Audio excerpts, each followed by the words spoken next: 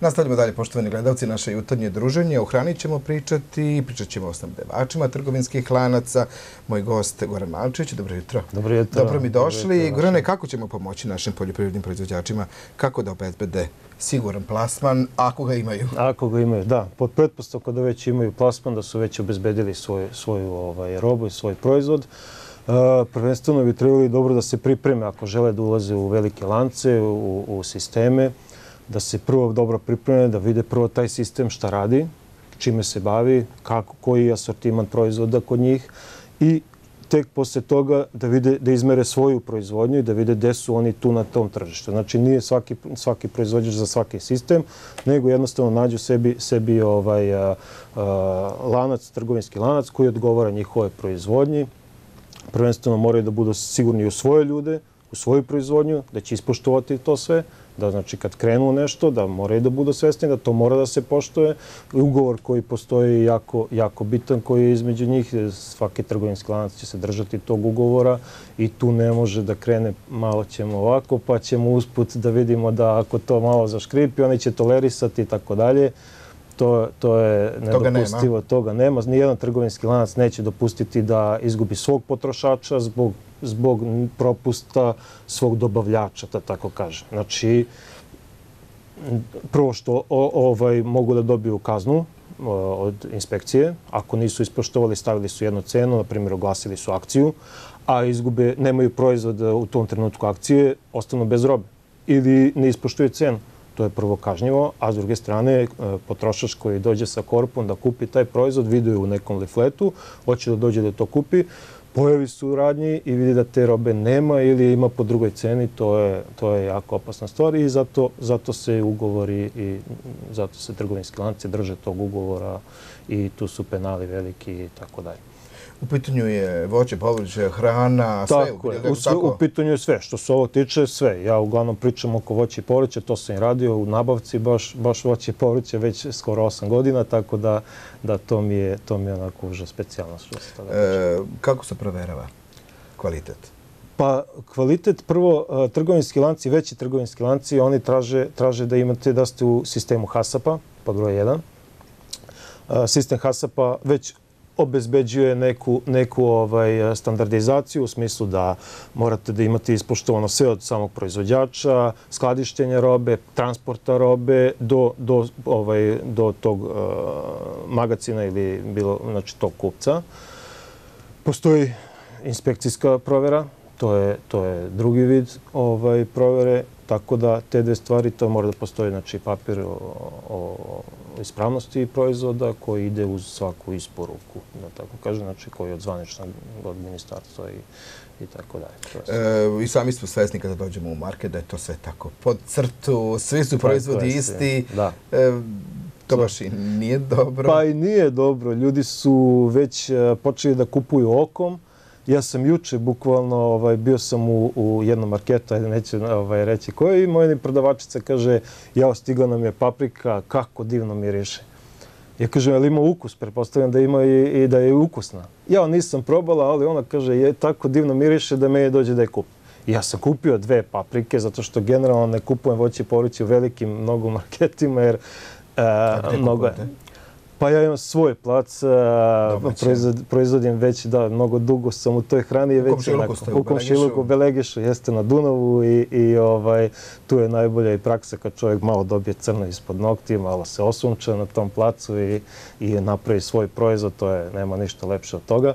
Ovaj, Ništa je bilo s paprikom, vama se nije dopala? Nema ukus. Ona je lepa, ona je stvarno fenomenalna. Kad je vidite, stvarno lepo miriše.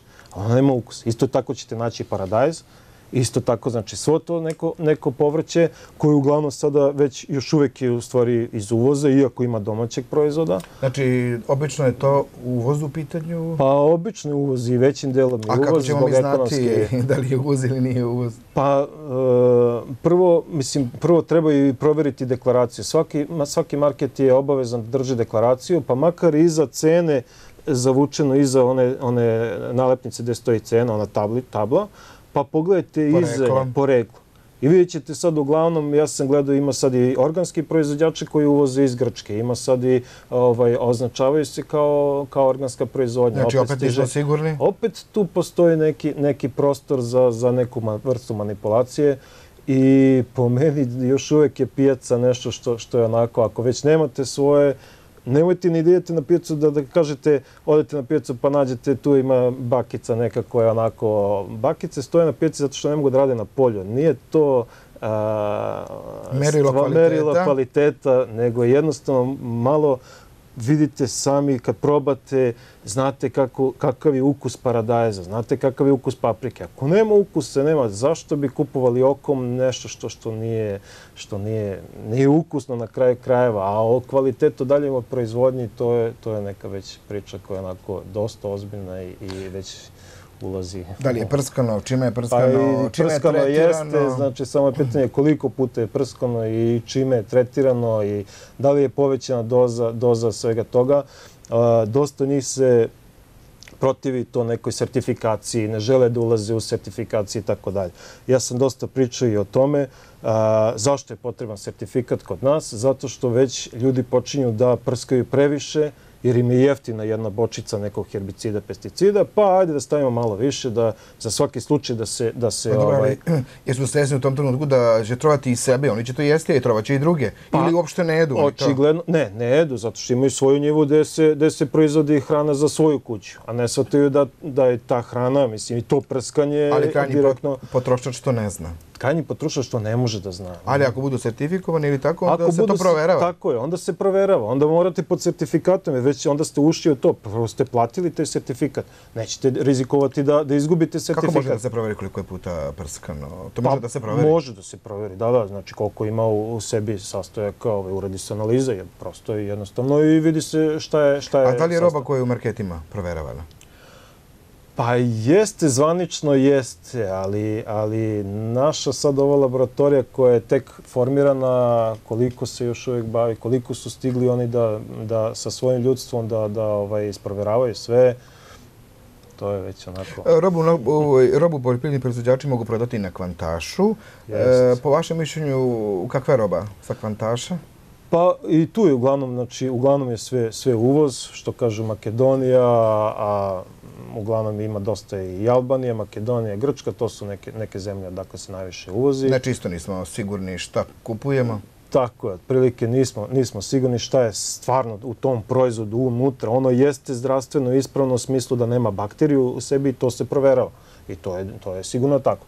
Ali kako je, kakav je način proizvodnje, to već ne možemo, ne možemo znati ove, dok ta nacionalna laboratorija ne počne stvarno da radi svoj posao i da tu se, da se tu dođe do stvarnih rezultata, da vidimo šta znači, mi stvarno jedemo i šta je stvarno kod nas u, u marketu. Znači, ne znamo što jedemo, ne znamo koliko puta tretirano, pa, ništa ne znamo. Ne znamo. A šta da. znamo?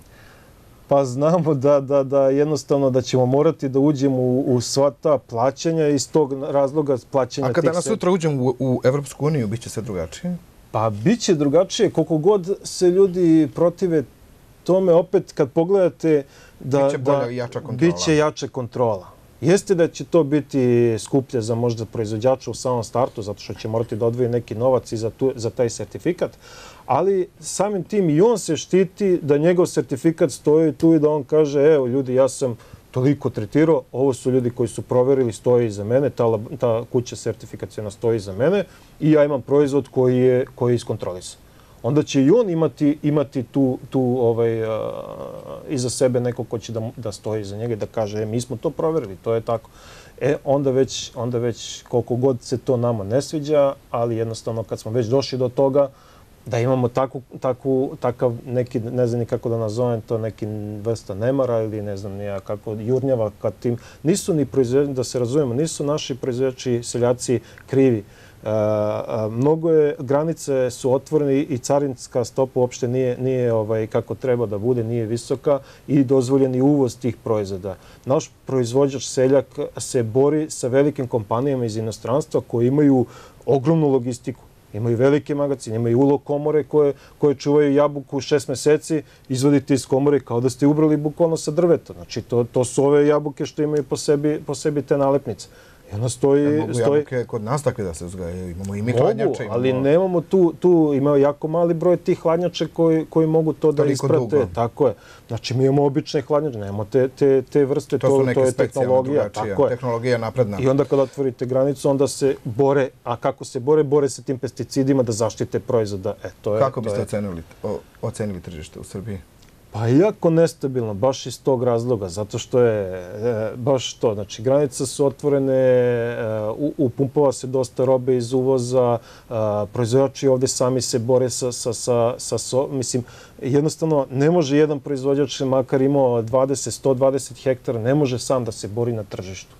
Znači, Znači, trebali bi da se Trebali bi da se ujedine, ujedine, kao što je da se nekada bilo, udruže. zadruge. Tako je, te zadruge nismo sad smislili, one postoje već, već decenijama kod nas i, i treba da se udruže. I ima dobrih primjera koji su se udružili i kogod kaže e, to ne valja, to nije dobro, ovo sad nije dobro. Znači, dobro je da se udružimo, jer mi smo tu, mi treba da se borimo za naš dinar i da, da ostanemo tu, a ne da nam dolaze stranci da, nas, da nam sve to prodaju i da nam objašnjavaju kako treba da se radi. Mi znamo kako treba da se radi. Pišete u agrobiznisu, U agrobiznisu, u novom broju i ovo sada u ovom. jeste. E, Gledalci mogu da pročitaju. Hvala što ste bili gosti jutarnjeg programa. Hvala vama, doviđenja.